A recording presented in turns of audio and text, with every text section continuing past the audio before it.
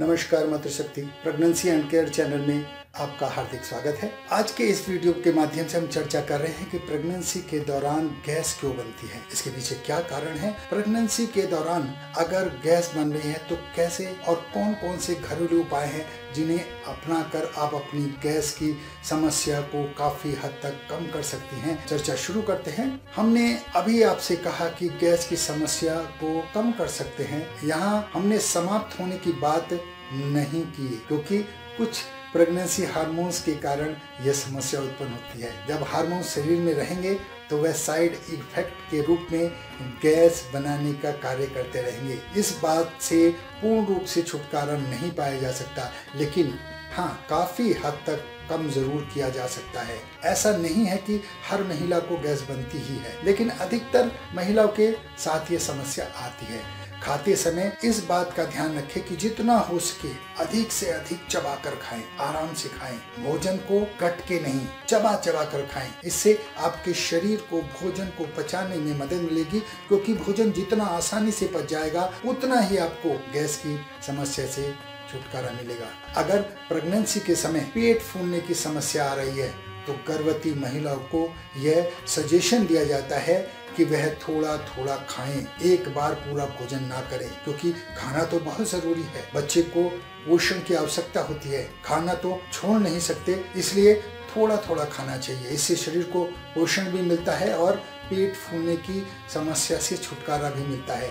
Pregnancy के दौरान महिलाओं को अपने शरीर में पानी की कमी बिल्कुल नहीं होनी देनी चाहिए। अगर गैस की समस्या बन रही है तो आप नींबू पानी ले सकती हैं, दिन में दो बार ले सकती हैं, आपको फ़ायदा ज़रूर मिलेगा। माना जाता है अगर गैस बन रही है तो सोडा युक्त पेय पदार्थ से काफ़ी आराम मिलता है। यह बात बिल्कुल सही नहीं है, क्योंकि एसिडिटी के कारण गैस की समस्या ज़्यादा नज़र आती है और सोडा उसे कंट्रोल कर लेता है।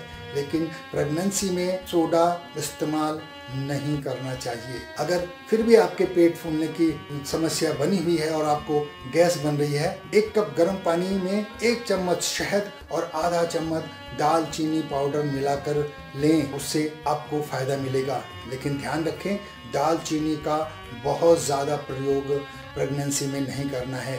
एक चम्मच अदरक का रस, उसके स्वाद अनुसार शहद मिलाकर पीने से भी गैस की समस्या दूर होती है, लेकिन अदरक तासीर में गर्म होता है। इसका प्रयोग अधिक ना करें। धूम्रपान ना करें, चाय ना पिए, काफ़ी का सेवन ना करें, ग्रीन टी ना लें, शराब का सेवन बिल्कुल ना करें। इससे भी एसिडिटी और गैस की समस्या से छुटकारा पाया जा सकता है। गर्म चीज़ खाने से बचें, पानी पीने के तुरंत बाद कुछ भी ठंडा न पिए। इससे आपको गैस बनने लगेगी। एक बात का और ध्यान रखें, ठंडा गर्म एक साथ ना खाएँ, क्योंकि शरीर एक नियत तापमान पर ही होता है। तापमान में अधिक परिवर्तन नहीं आना चाहिए। इससे भी गैस समस्या हो सकती है। रात को एक चम्मच मेथी दाना पानी में भिगो कर रख दें। खाली पेट उस पानी को पिए। यह भी लगातार गैस की समस्या को धीरे धीरे शांत करता है।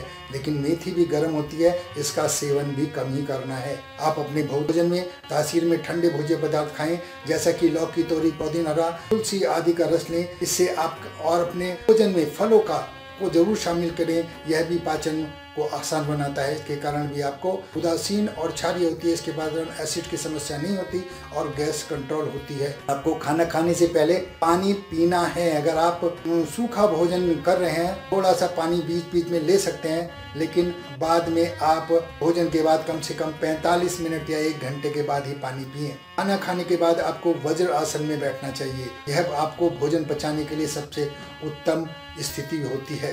कई बार तनाव के कारण गैस बनने लगती है। इसके लिए आप योग कर सकती हैं, खुद को तनाव से मुक्त रख सकती हैं और योग वो ही करें जो प्रेगनेंसी में किए जा सकते हैं। अपना बहुत ध्यान रखें, हंसती रहें, मुस्कुराती रहें, खुश रहें। धन्यवाद। दोस्तों, इस वीडियो में इतना ही। अगर आप हमसे इस टॉपिक पर बात करना चाहते हैं या अपनी कोई बात रखना चाहते हैं या हमें कोई सजेशन देना चाहते हैं तो आप कमेंट के माध्यम से अपनी बात रख सकते हैं। दोस्तों चैनल सब्सक्राइब करना और वीडियो को लाइक करना बिल्कुल भी ना भूलें और अपने दोस्तों को भी शेयर करें। धन्यवाद।